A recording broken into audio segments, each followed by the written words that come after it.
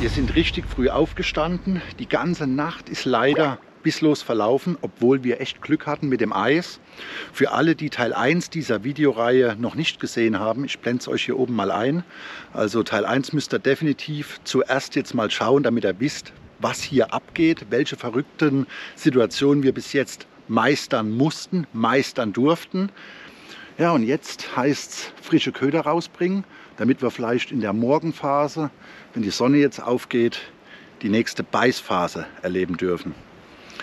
Der Wetterbericht auf dem Handy verheißt auf jeden Fall nichts Gutes, denn wir werden in den nächsten Tagen noch mal eine richtige Kältefront hier abbekommen. Also ich hoffe wirklich, dass das Eis uns fern bleibt. Wir werden sehen. Abfahrt. Einen wunderschönen guten Morgen. Ich bin früh auf den Beinen. Es ist kurz vor sechs. Es ist immer noch stockdunkel. Die Nacht ist leider nach der letzten Aktion bisslos verlaufen. Aber jetzt heißt es dranbleiben, früh raus, Routen neu mit frischen Ködern bestücken, Routen neu auslegen. Denn ein frischer Deadbait hat natürlich ganz andere Attraktoren als ein Köfi, der jetzt schon 8, 9 Stunden hier im Teich liegt. Mal gucken, ob dann jetzt im Morgengrauen die nächste Aktion kommt.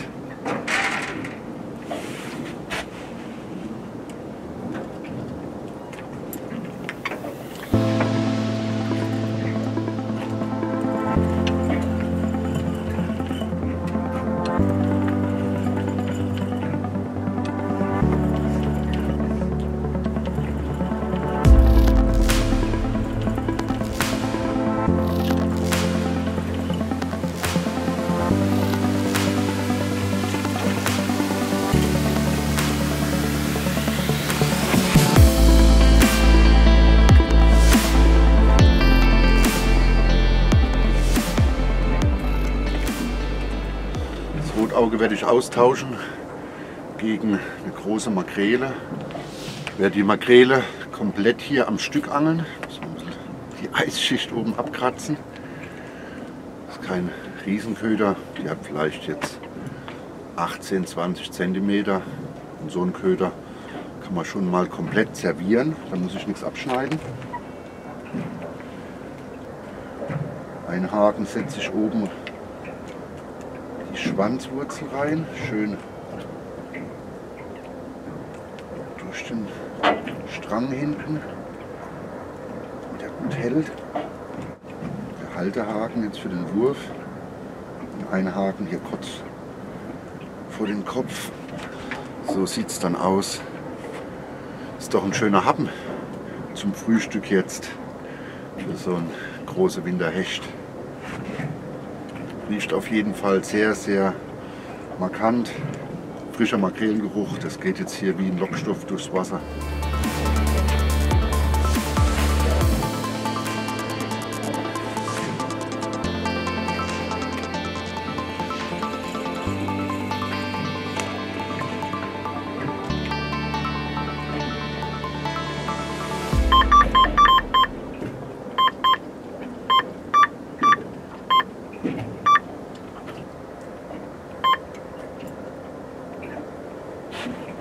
Hier an dem Spot, wo wir uns gerade befinden, haben wir den Vorteil, dass wir auch einige der Routen werfen können. Wir sitzen genau hier vor einer tiefen Kante. Die äußeren Routen haben wir beide mit dem Boot gefahren, links und rechts vom Boot. Aber hier die Routen im vorderen Bereich können wir problemlos werfen, wie beim Uferangeln. Und da kam ja gestern auch der erste Fisch. Ja, das heißt nicht immer unbedingt, dass Weite und Entfernung wichtig ist wenn man dort den Köder präsentiert, wo die Fische langkommen, kantennah in dem tiefen Bereich, hat man schon sehr, sehr gute Karten. Und was mir am besten gefällt, wir sind nicht eingefroren. Es ist zwar sehr, sehr kalt draußen, die Ruten sind mit einer leichten Eisschicht überzogen, aber die Wasseroberfläche ist frei geblieben. Wir haben hier ein bisschen Wind, das Boot hat die ganze Nacht leicht geschaukelt und da ist natürlich Eisbildung dann sehr, sehr schwierig der nächsten Route werde ich jetzt das Kopfstück, den vorderen Bereich von der Makrele präsentieren. Hier hatten wir auf einen von den Routen den Schwanz angeködert. Bleibt natürlich der Kopf übrig. Ne? Die Teile braucht ihr nicht wegschmeißen. Entweder zum Füttern aufheben, aber auch so ein Kopf mit der Hälfte hier des Rückens. Kann ein sehr fängiger Köder sein. Wir probieren es aus.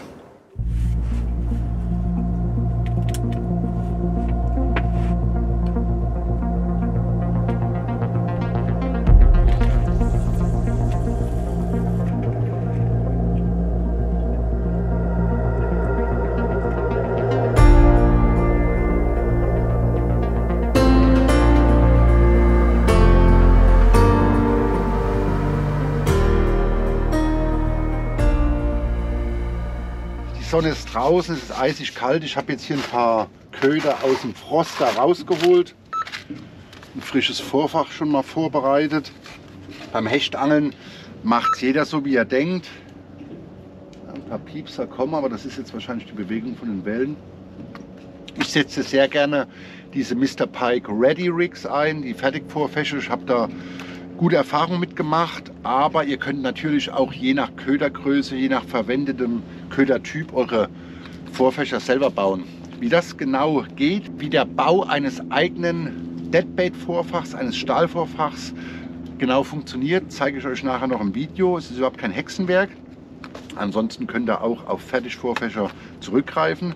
Wir nehmen jetzt mal eins mit raus aufs Boot für die Routen, die wir nicht werfen können, sondern die wir ziehen wollen an die Kante und zeigen euch mal genau den Angelplatz oder warum wir hier diesen Spot ausgewählt haben.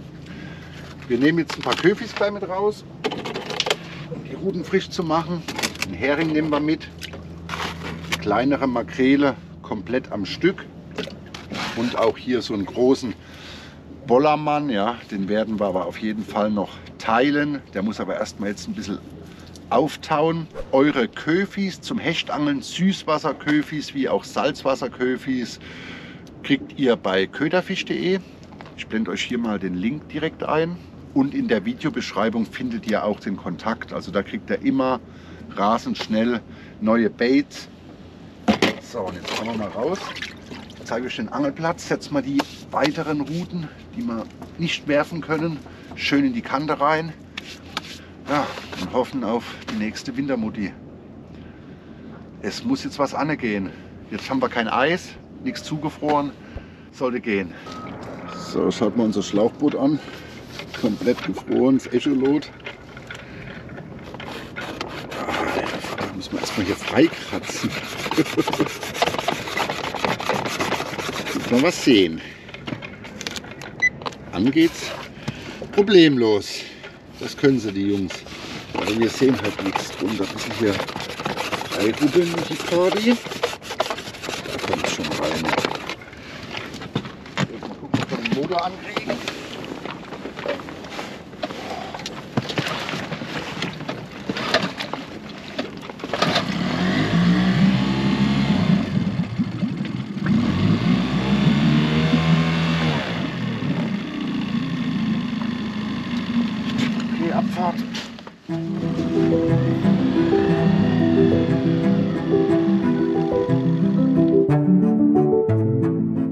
Seht ihr überall Fischsicheln am Grund und das sind die Bereiche, die die Winterhechte jetzt auch aufsuchen. Wir haben 5 Meter Wassertiefe, wir sind in einem Bereich in einer tieferen Rinne neben diesen ganzen Flachwassergebieten hier. Und da ziehen sich jetzt natürlich im Winter die Futterfische rein und die Hechte folgen dahin. Ihr seht ja überall wieder große Sicheln auf dem Echolot. Hier kommt richtig Fisch durch. Das sind Weißfische, die da am Grund stehen. Und dort natürlich, wo die Weißfische stehen, da steht der Räuber hinten dran. Die sammeln sich jetzt alle in den tiefen Bereichen bei diesen kalten Bedingungen. So, und jetzt suchen wir uns einen Spot irgendwo, wo die Kante leicht ansteigt aus dem tiefen Bereich. Und da legen wir die erste Route ab. So, auf unsere erste Route werden wir einen schönen Hering setzen wichtig. Fanghaken hinten schön in die Schwanzwurzel rein. Und den zweiten Haken hier knapp vor den Kopf setzen. Zack. Immer noch gefroren die Teile, obwohl wir sie jetzt in Wasser gelegt haben. Unglaublich. So. Gucken, ob der untergeht. Dass er nicht schwimmt.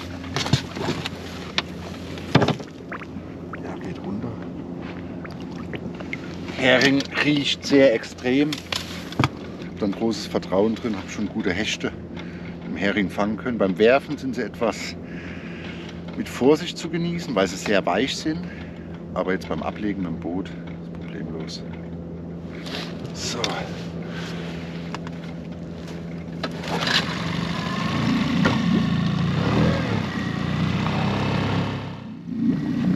Ich suche mir jetzt Bereiche, wo ich viel Futterfisch sehe. Hier kommt wieder so ein Bereich ins Echolot rein. Da legen wir jetzt die Rute ab.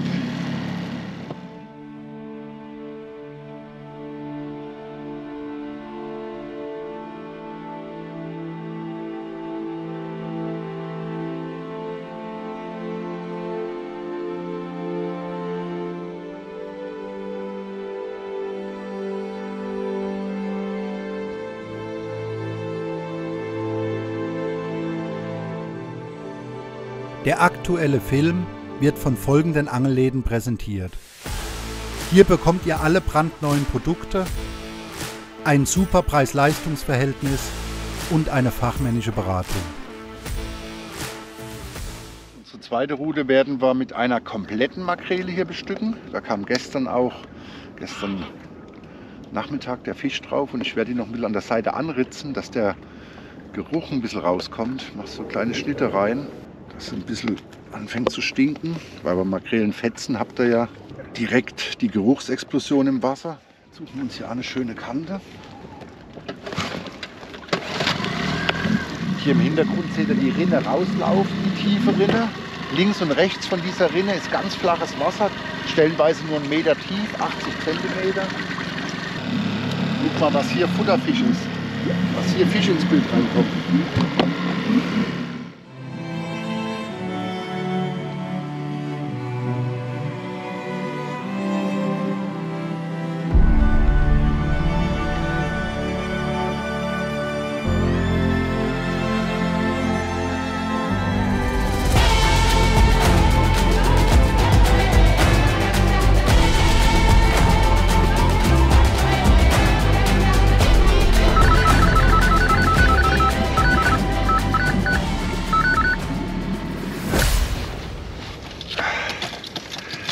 Unglaublich. Die frieren im Wassereimer wieder ein.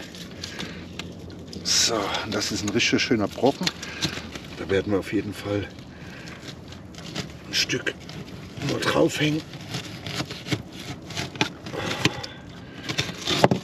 Und genau hier kommt der, der Geruch daraus. Wahnsinn.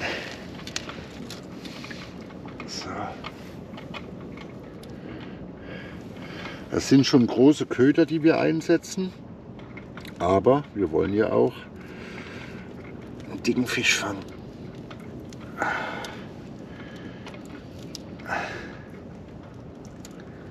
So, den zweiten Haken hier ganz knapp vorne dran. Schön vor die Öffnung. So. Perfekt bestückt für die Mutti. Jetzt gehen wir an die Kante gegenüber von uns. Schön staffeln können.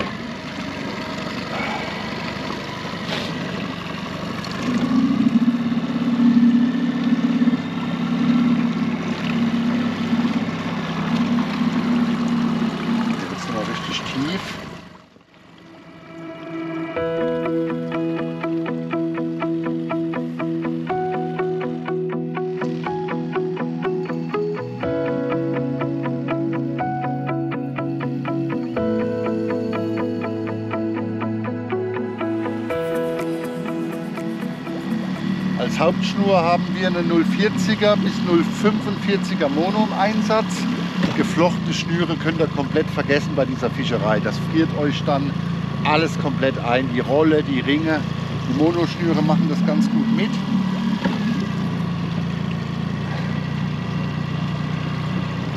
So, jetzt kommt die Sonne richtig raus. Gucken, ob wir jetzt die nächste aktive Phase bekommen. Sind oft so kleine Beißfenster. Das merkt man dann, wenn man eine Zeit lang draußen ist, wann die Fische aktiv werden. Jetzt im Morgengrauen habe ich eigentlich wirklich mit ein bisschen gerechnet, aber war gar nichts. Gestern Nachmittag Schiff drüber gefahren, vorher euch schon prophezeit und dann ging das Ding los.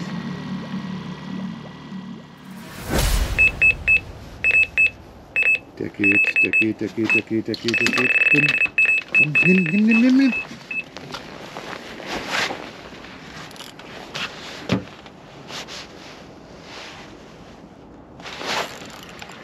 Hängt.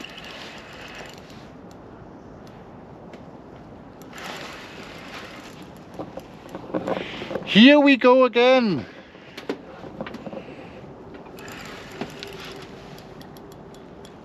Steht gut drin, steht gut drin der Fisch.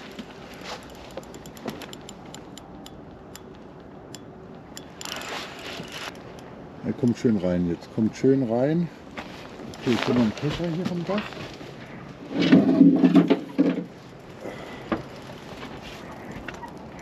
Keschernetz ist komplett gefroren. Doch kommt durch. Ja, kommt durch. So, ich krabbel jetzt mal unter unserem Rottpot hier durch. Weil wir ja so schlau waren und haben uns den einzigen Ausgang hier vom Boot zugebaut. Oh, Wahnsinn. Wahnsinn. Wahnsinn. Die Hechte stehen auf die Sonne. So, jetzt gehe ich hier rüber. Guter Fisch, guter Fisch. Wollen wir wetten, so wie der in der Rute steht? Unglaublich, unglaublich. So, bis jetzt kommt das schön hier mit rein. Läuft schön durch.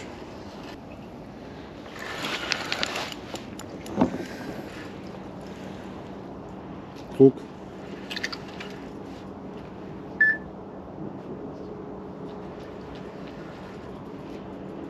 Will wieder um den Pfeiler rum. Dann gib Schnur, gib Schnur, dann müssen wir ins Boot. Müssen wir ins Boot. Ja. Guck mal, ob du ihn rumkriegst, sonst gehen wir ins Boot. Das ist jetzt noch Blödsinn passiert. Kriegst du ihn rum oder nicht?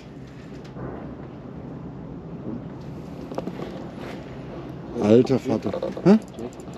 Gib Schnur.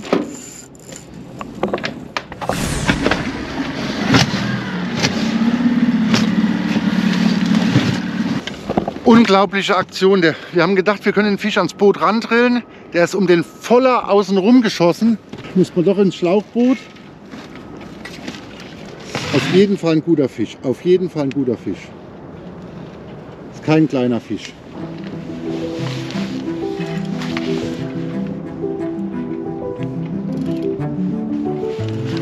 Kein kleiner Fisch. Kein kleiner Fisch. Oh ja, da kommt er. Das ist der erste Meter. Das ist der erste Meter, definitiv. Alter Falter. Guckt euch das Kroko an. Guckt euch das Krokodil an. Ah, drin ist er. Petri. Dankeschön. Wahnsinn, Wahnsinn, der Heringsfresser. Was der uns jetzt Action beschert hat. Haben zwar ein Riesenboot dabei, also verhältnismäßig großes Boot, aber dann wird es doch eng. Und er wollte um diesen Pfosten außenrum, wir haben erst gedacht, wir können ans Boot randrillen, aber richtig starker Fisch, richtig starker Fisch. Das ist unser erster Meter.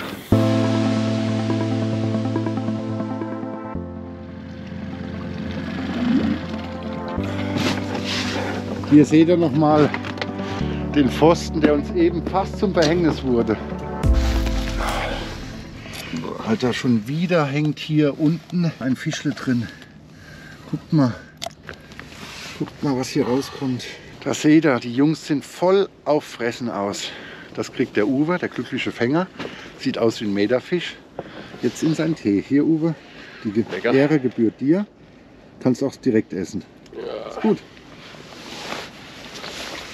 Wahnsinn, der Hering hat geliefert. Richtiges, schönes Kroko. Und direkt die Metermarke gesprengt. Petri Heilmann Gütster, Ja, vielen Dank. die Metermutti.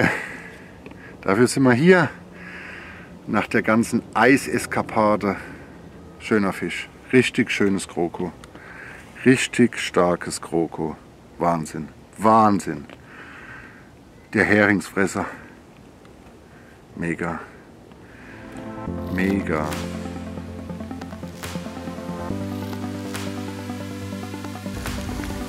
Darf er zurück, unser Kroko. schaut euch mal dieses Rückenmuster an. Wahnsinn. Wahnsinn. Da geht er wieder in die Tiefe. Petri, Langer. Vielen Dank. Ah, weiter geht die wilde Fahrt.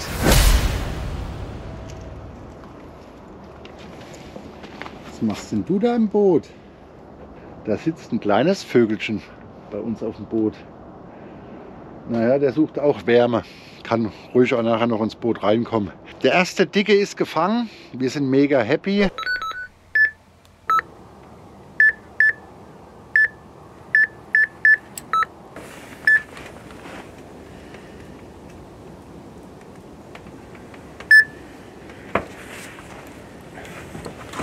Ganz vorsichtiger Biss.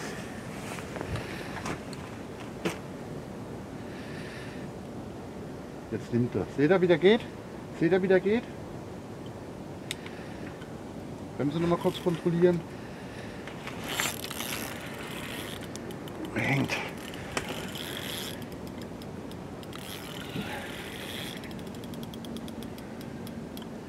Wahnsinn, Wahnsinn. Und damit herzlich willkommen zum zweiten Teil unserer Videoreihe Eiskalte Hechte. Wir sind schon wieder am Start. Diesmal war es die ganze Makrele mitten in einem Futterfischschwarm abgelegt. Steht gut drin, steht gut drin. Wahnsinn.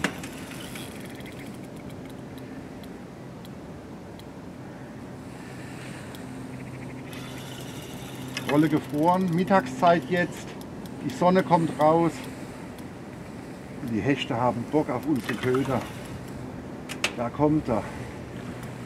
Vielleicht wird es auch jetzt mein Meter. Uwe hat sein Meter schon gefangen. Auf jeden Fall ein starker Fisch. Kescher. Hängt noch vorne die ganze Makrele raus. Gucken, ob ich rankomme hier vom Boot aus. Das sieht auf jeden Fall aus nach einem Meter. Wahnsinn. Hechtangeln vom Feinsten. In der ersten Nacht sind wir eingefroren hier auf dem Teich. Jetzt verwöhnt uns die Sonne. Temperaturen immer noch eisig, aber guckt mal in den Kescher rein. Der Makrelenkiller. Ganze Makrele, großer Fisch, dicker Fisch. Alter, schaut euch mal dieses fette Monster an. Ein Haken ist frei, hängt hier im Kescher. Das ist übrig geblieben von unserer, von unserem Köder. Die wollte er haben. Komplette Makrele weggezogen. So, ich hebe mal jetzt raus aus dem Kescher. Vorsichtig. Das ist ein fetter, fetter Fisch.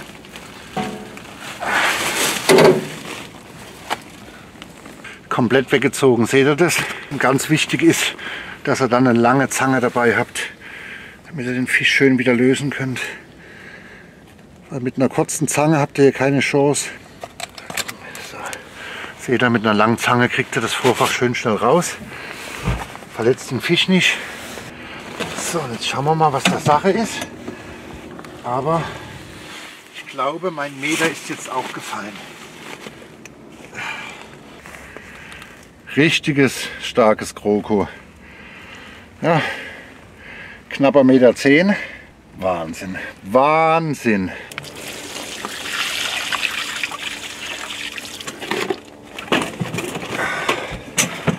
Genau deswegen sind wir hier. Das ist ein richtig dickes Winterkroko. So müssen sie aussehen. Wahnsinn. Wahnsinn. Der Bauch, der Fisch. Geil!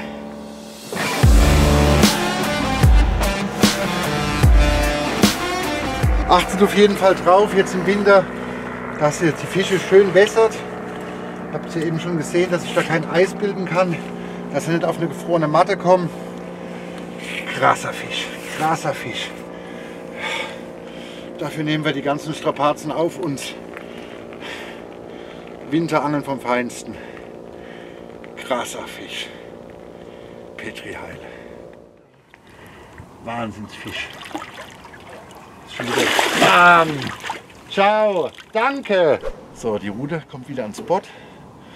Und dann zeige ich euch mal in aller Ruhe, wie ihr euer perfektes Hechtvorfach, euer Deadbait-Vorfach ganz einfach und schnell selber bauen könnt. Rute muss wieder ans Spot. Wir noch im Angebot. Auf jeden Fall werden wir wieder eine dicke Makrele da draufsetzen. Schon verrückt, ne? Wenn ihr euch diese Ködergrößen hier anschaut. Aber die Winterhechte haben Bock auf große Köder, die dicken Hechte, ja. Aber ihr habt es ja auch selber gesehen, aus den letzten zwei großen Fischen, die wir fangen konnten, haben wir überall auch Überbleibsel der vergangenen Jagdphase rausgeholt. Ein dicker Barsch in Videoteil 1 und jetzt eben was nicht identifizierbares und unsere Makrele komplett zernagelt. Also keine Angst vor großen Ködern im Winter auf Hecht. Und aktuell, man muss ja immer ein bisschen testen, bei mir zu Hause laufen die Süßwasserfische deutlich besser, aber hier jetzt haben die Salzwasserfische die Nase vorne. Also immer eine gesunde Mischung an Ködern am Start haben. Hering hat gefangen, Makrele am Stück hat gefangen. Rotauge, also die Süßwasserköfis, blieben bisher unberührt. Mal gucken, wie das weitergeht. Ja. Rute wird neu gesetzt. Wir haben jetzt schon wieder frühen Nachmittag. In zwei, drei Stunden ist es schon wieder stockeduster. Aber bisher die Nachtphasen, auf die ich ja eigentlich so schwöre beim Hechtangeln, beim Großhechtangeln, war keine Aktion. Tagsüber, wo die Sonne geballert hat, in der Windstille jetzt, kamen die Bisse. Und nachts, wo es nochmal richtig angezogen hat mit den Temperaturen, war bisher nichts. Aber das muss ja nichts heißen. Schauen wir mal, wie es weitergeht. Ja, mein Meter ist gefallen. Ich bin mega happy über den starken Fisch. Never change a running system. Frische Makrele. Leichte Ritzereien. Wenn ihr komplette Köfis am Stück verwendet. Das hat eben einen dicken gebracht. Großer Köder, großer Fisch. So, bringen wir es wieder auf den Spot. Ist unglaublich. Obwohl die Sonne jetzt draußen ist, immer noch eis, eiskalt, das ganze Boot ist gefroren. Aber anscheinend stehen sie aktuell auf die Sonne, die Jungs.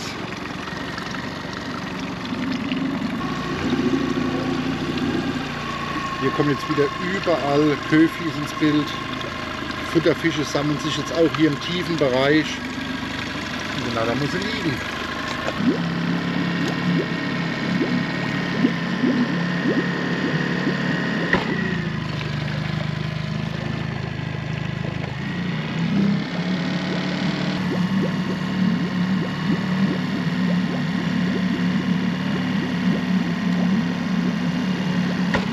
Schön direkt in der Rinne drin. Schauen wir mal, ob noch einer kommt.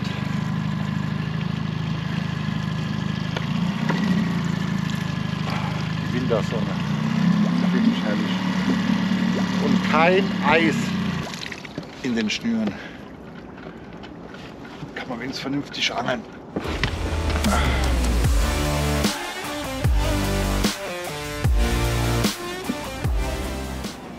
Wichtig ist, dass ihr beim Angeln oder besser gesagt nach der Köderablage mit einer offenen Rolle angelt. Deswegen nutzen wir hier auch monophile Schnüre. Geflochtene würden euch alles zufrieren. Die komplette geflochtene Schnur würde auf dem Spulenkern einfrieren, weil Geflechtschnüre Wasser aufnehmen und das gefriert dann an der Rolle. Deswegen die Monoschnüre sind das Optimale hier im Winter zum Angeln. Rolle anspannen, dass ihr schön Kontakt zum Köder habt. Bügel öffnen, Pendelbissanzeiger direkt unter der Rolle einhängen. Hier noch eine kleine Wicklung weiter runter.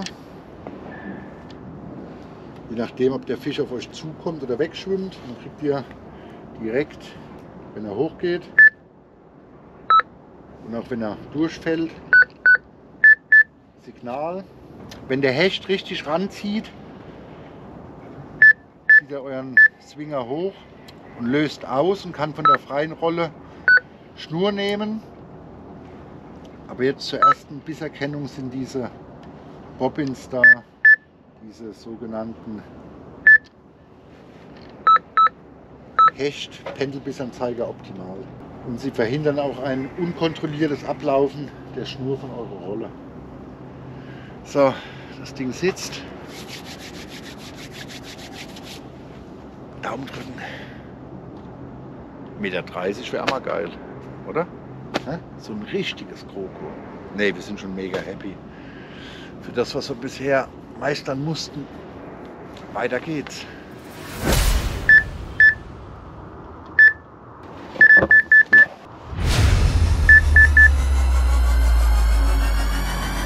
Haut hoch, haut hoch, haut hoch. Jawohl!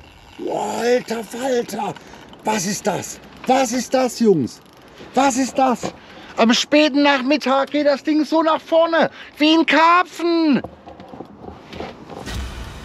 Ab, weg. Ja. Nee, ist das ein grausam. Ausgestiegen. Ja. Die große Makrele. Der ist schön reingelaufen.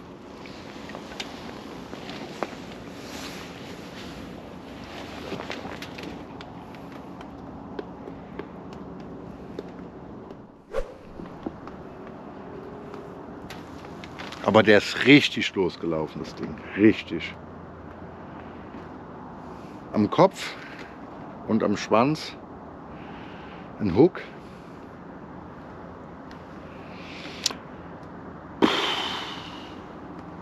Tut weh, aber weiter geht's. Das ist Angeln. Unglaublich, wie sie das manchmal machen. Wieder raus das Ding. Weiter geht's. Davon lassen wir uns jetzt definitiv nicht unterkriegen. Alter, auf die Joker-Route ein Biss. Stellen wir hier lang. Liegt hier drüben auf der Insel, ist komplett durchgefallen. Wir wissen nicht, ob es Eis ist oder vielleicht ein Komaran. Uwe springt rüber.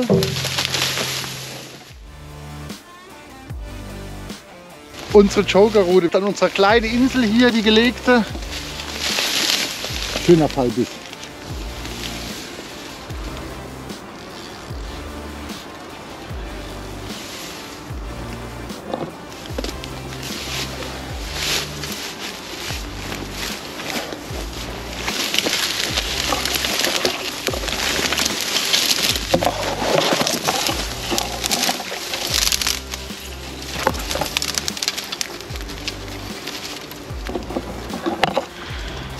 Wieder der Hering. Der Hering macht's. Da kommt er. Das ist wieder ein Meter. Das ist wieder ein Meter. Alter Falter. Petri Heil, mein Freund. Petri Heil! Nicht zu viel versprochen, Jungs. Auch fast wieder. Meter neun hat er. Richtige Wintermutti. Matte haben wir nass gemacht. Ehrensache, ne? dass die Fische hier keinen Schaden nehmen können. Es ist so kalt, müssen wir wirklich Gas geben, weil Eis und Kälte ist genauso schlimm wie Sonne sein kann. Schaut euch dieses Kroko an. Wahnsinnsteil. Wahnsinnsfisch. Bam. Und nun, mein Gütster? Naja, hat sich alles gelohnt. Heute Abend könntest du mal irgendwie mir einen schönen Tee machen oder eine Fußmassage. Ja, das würde ich schon machen. Bin ich mir sicher. Wahnsinn. Wahnsinn. Wahnsinn. Hier im Eismeer. Petri Heilmann Gütster. Vielen Dank. Bam. Was ein Kroko. Jetzt eskaliert es langsam. Hering ist der Bringer aktuell. Ich habe den nächsten aus der Box geholt, ein paar haben wir noch. So, und die Rute müssen wir jetzt auf jeden Fall noch mal setzen vom Dunkelwerden. Diesmal mit einer Eisbombe, aber die taut im Wasser auf.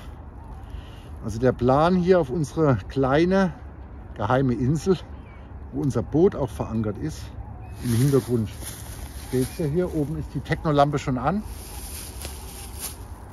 haben wir jetzt eine Route noch gesetzt, um in einen anderen Bereich rein angeln zu können. Ja, und die hat uns jetzt in der Dämmerungsphase nächsten Fisch mit knapp 1,10 gebracht. So sieht es aus. System, einfach aber effektiv. 100 Gramm Blei und keine Strömung.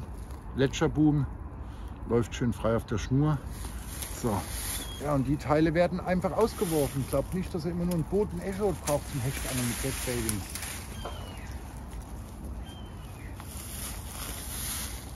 Kleiner Pendler. Gucken, dass ich hier mit dem Kraut hängen bleibe. Zack.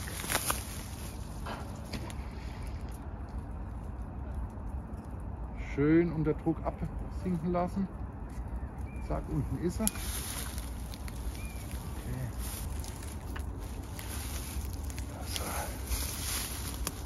langsam auf leichten, konstanten Druck kurbeln. Wir nutzen nicht viel Blei. Rolle auf, Zwinger einhängen. Zack. Schiebt ihr eure Rolle direkt über den Händelbissanzeiger. Wickelt euch so viel Schnur auf, dass er knapp unter der Rolle hängt. Also dass er auf jeden Fall ein Signal bekommt, wenn er nach oben geht und wenn er abfällt. Eben hat man Fallbiss, hat nur zweimal gepiepst, aber funktioniert. Okay, passt. Und wenn die Rolle im Endeffekt genau drüber sitzt, habt ihr auch keine Probleme mit Wind der euch sonst von der offenen Spule, vom offenen Bügel jetzt die Schnur runterziehen würde. Weiter geht's.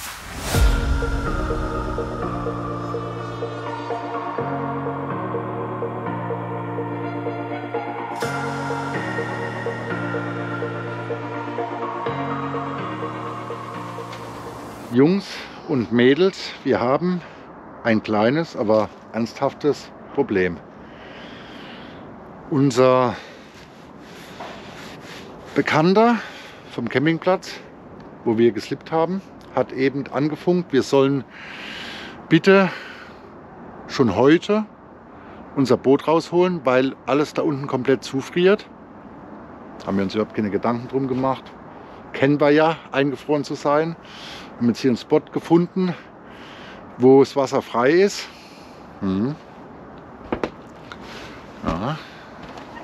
War auch so bis jetzt, aber schaut mal, Wind ist komplett eingeschlafen.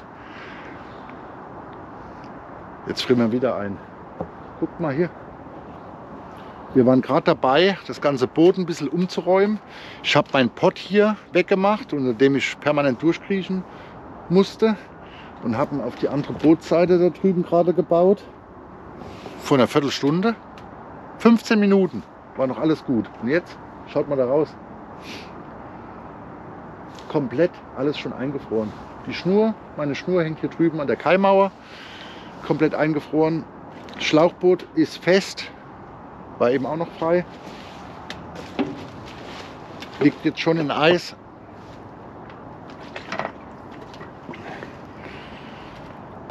Aktuell ist die Eisschicht, die ihr noch seht, relativ dünn. Aber ihr seht schon, die zieht sich komplett hier über den Teich. Hier, wo die Schifffahrt stattfindet, Industrieschifffahrt, große Schiffe permanent Häfen verlassen, geht jetzt auch der Tümpel zu. Hier vorne auch. Die ersten Eisschollen treiben hier durch.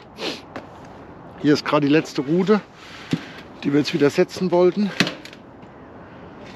Die Route vom verlorenen Fisch. Ja, keine Ahnung. Entweder müssen wir jetzt auf unsere kleine geheime Insel ziehen hier rüber, weil das Becken hinten dran, das war noch eisfrei eben, hat ja auch einen guten Fisch geliefert. Aber selbst hier die Einfahrt zu einem großen Industriehafen, wo permanent Bewegung drauf war, scheint jetzt heute Nacht zuzufrieren.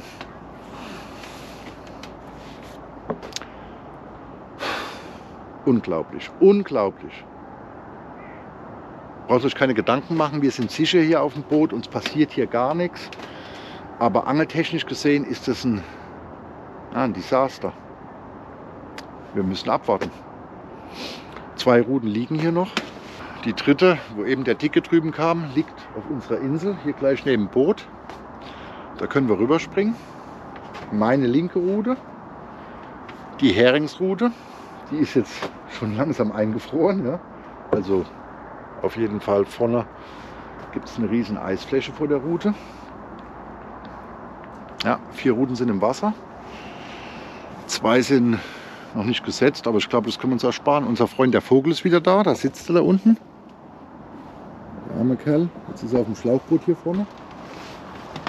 Wo ist er denn jetzt? Jetzt ist er weg, da ist er. Der sucht auch Zuneigung, der war heute schon in unserem Boot drin, kein Witz. Blende ich euch hier mal ein, die Aufnahme, wie er hier rumgeflattert ist an der Heizung. Jetzt hockt er da am Ankerseil. Jetzt hockt er hier. Komm rein. Kleiner, flinker Kerl. Aber wir sind, oder wir werden wahrscheinlich noch Buddies hier, solange wir hier hängen. Wenn wir heute Nacht hier wieder einfrieren, wird es definitiv so. Wenn wir den Vogel noch zu uns hier in die Kajüte reinholen und dann werden wir das hier aussitzen müssen. Unglaublich, unglaublich, dass jetzt auch hier, wo gestern noch nichts von Eis zu sehen war, sich so ein riesen Eisteppich plötzlich bildet. Und wir brauchen da nicht rumzaubern und irgendwas erzählen. Oder die Leute denken immer, oh, Drama Queen, hoho, die Jungs machen hier richtig Action. Wir finden es selber nicht so cool. Wir haben es jetzt schon mal eine Nacht erlebt, aber schaut selbst. Das ist gefrorenes Wasser. Und das war definitiv vor 20, 30 Minuten noch nicht der Fall. Plötzlich geht es zu. Ach Gott. Weiter geht's, wir bleiben dran.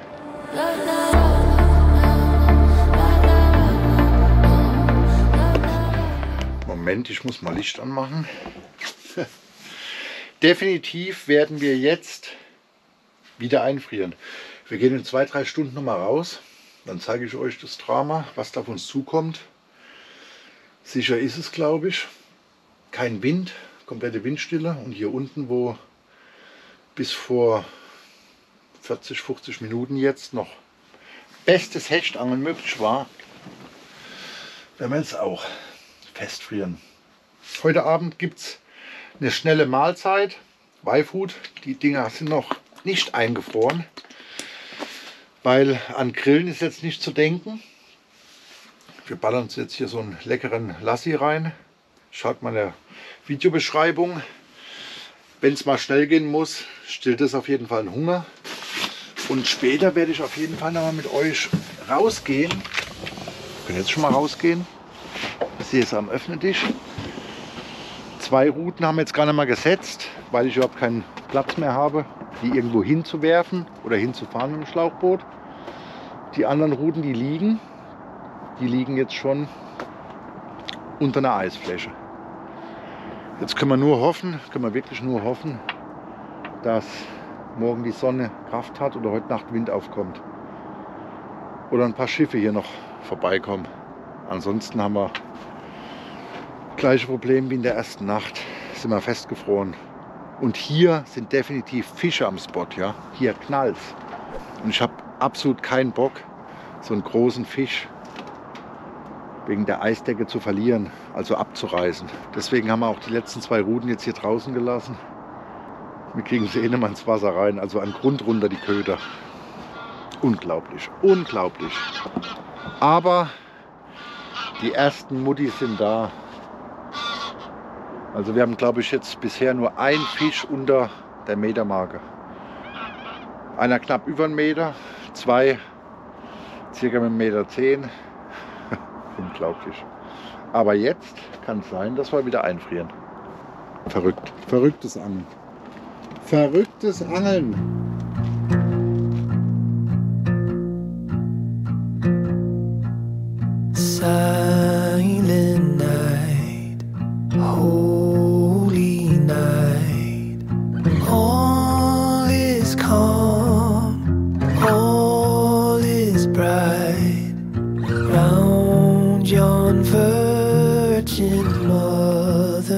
Tr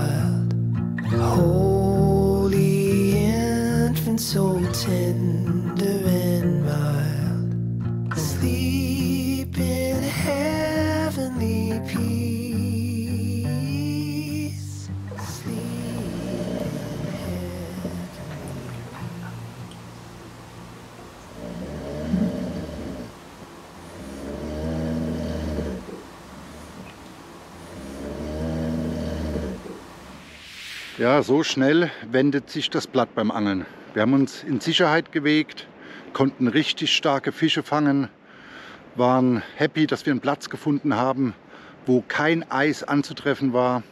Und jetzt, jetzt kommt das Eis zurück und wir frieren wieder ein. Abbruch ist für uns keine Option. Wir haben ja auch keine Chance, die ganze Tour jetzt hier aufzugeben. Denn die oberen Gewässerbereiche hoch zu unserer Slipanlage, wo wir das Boot gewässert haben, sind komplett zugefroren. So dick zugefroren, dass sogar der Bekannte oben an der Anlage uns angerufen hat und gewarnt hat und hat gesagt, ihr müsst jetzt vom Wasser runter. Jetzt ist es zu spät. Jetzt können wir auch bleiben. Jetzt müssen wir hier bleiben. Wir machen das Beste draus und wie es weitergeht, was weiterhin hier draußen in der Eishölle uns beim Hechtangeln widerfährt, das seht ihr nächsten Sonntag auf meinem Kanal. Vielen Dank fürs Zuschauen. Nächsten Sonntag Teil 3 der Videoreihe Hechte eiskalt. Und eins kann ich euch versprechen. Es wird nochmal richtig, richtig cool. Bis nächsten Sonntag. Alles Gute, viele Grüße. Euer Stefan. Ciao, ciao.